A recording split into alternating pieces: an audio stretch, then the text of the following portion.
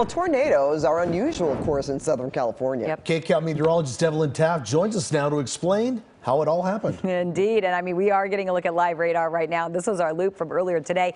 And it was a combination of many things, sort of the perfect storm. First and foremost, we had that instability, a little bit of warm air and cold air coming together. And we had that uplift as well. So we need that. And then we got a little bit of rotation. And that's what you're seeing right there. This is actually a 3D model of that cell.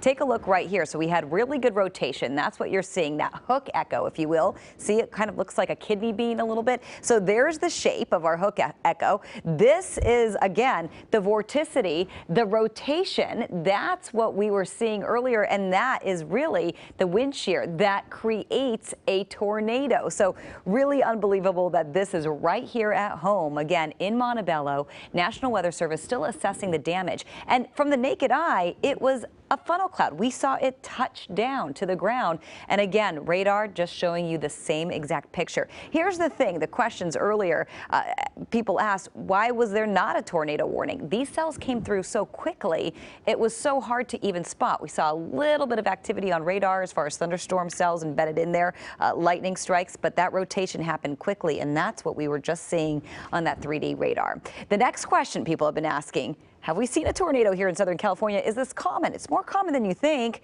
You'll see between 1950 and 19 or in 2022, 469 confirmed tornadoes statewide, with 45 of those in LA County alone. So it does happen, but not very often. For now, though, Pat, Juan, back to you.